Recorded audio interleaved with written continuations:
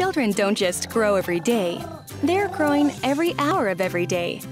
And what they are doing or not doing during these hours affects their development. Parents, caregivers, and educators can help young children build their best day by following the new 24 hour movement guidelines for the early years. These guidelines outline the right amounts of moving, sleeping, and sitting for children aged 4 years and under to promote healthy growth and development.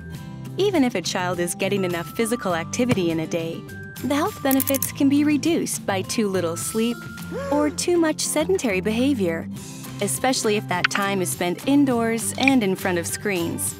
There are many benefits for infants, toddlers, and preschoolers when they have enough physical activity, high quality sedentary behavior, and sufficient sleep.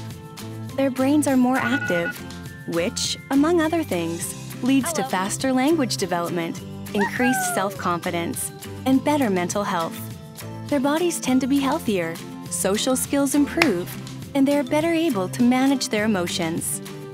Visit buildyourbestday.com slash early years to find out what a healthy 24 hours includes.